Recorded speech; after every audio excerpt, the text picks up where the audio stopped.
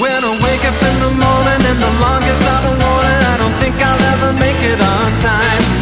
By the time I grab my books and I give myself a look, I'm at the corner just in time to see the bus fly by.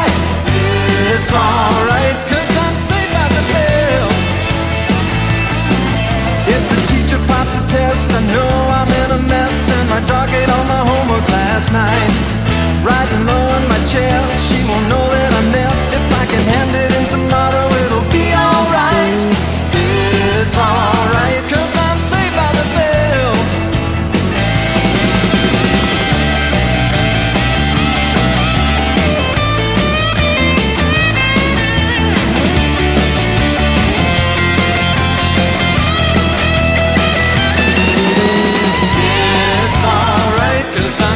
find the